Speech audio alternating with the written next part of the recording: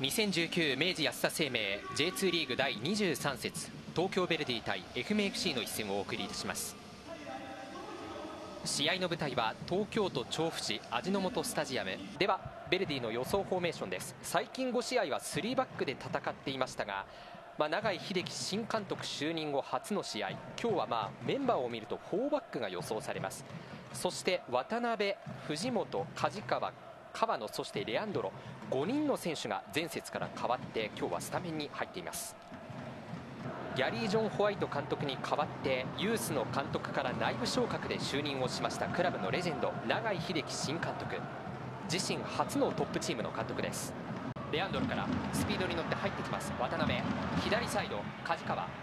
エリア内入る梶川のシュート。縦に速い攻撃でしたベルディ。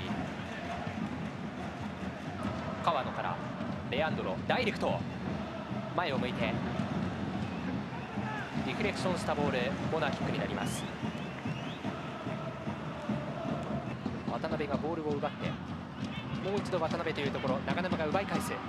クロスが入ってくるヘディング!先制ゴールは愛媛藤本洋介!梶川が狙ってきましたが枠は捉えられません。井上に代わって森田が入ります。この交代はどう見ますか？そうですね。どういう意図があるんですかね、えー、柔らかいボールファーサイドに上げてきてヘディング。もう一度押し込んだ。こぼれ球を押し込んだ愛媛。最後はユトリッチが押し込みました。梶川ファーサイドに鋭いボールセカンドボール拾って裏に抜けてくる渡辺。柔らかいクロスが上がってレアンドロには合いません。ここでかき出します。そして前半終了のホイッスルです。2対0とアウェーの愛媛が2点をリードする展開。